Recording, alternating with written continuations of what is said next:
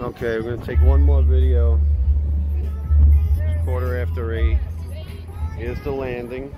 Okay, I'm gonna span back to my to the north where the pavilion is.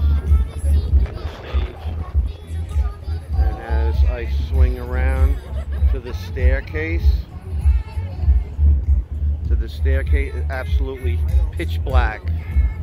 Here's the top of the railing. You can barely see it. See my hand is the top of the railing starting. And the staircase is completely unseen.